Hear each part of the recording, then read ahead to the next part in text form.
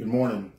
This is Steve Cleveland, um, the CEO of the Florida Dream Center, and this is part of several blogs that we're going to be doing over the next few months. And I wanted to talk to you a little bit about this upcoming weekend, Memorial Memorial Day, and how we're going to uh, handle it at the Florida Dream Center, and what it means to the people, and what we feel it means to the people in the country.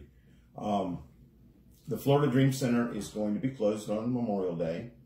And being that our staff has been working seven days a week through this uh, COVID-19, uh, we have decided to give them a couple extra days off to recoup and come back even stronger so that we can continue serving our county uh, with food and hygiene supplies and, and all the other stuff all our programs do.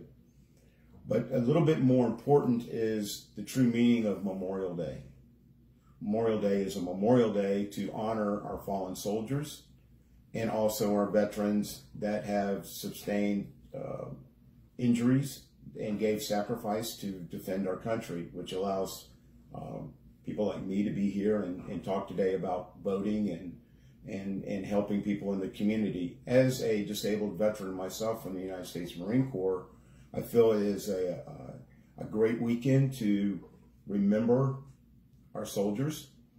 And also while you're cooking out and going to the beach and fishing and enjoying stuff, if you see a soldier or a veteran, tell them thank you and for serving and doing great things in our country.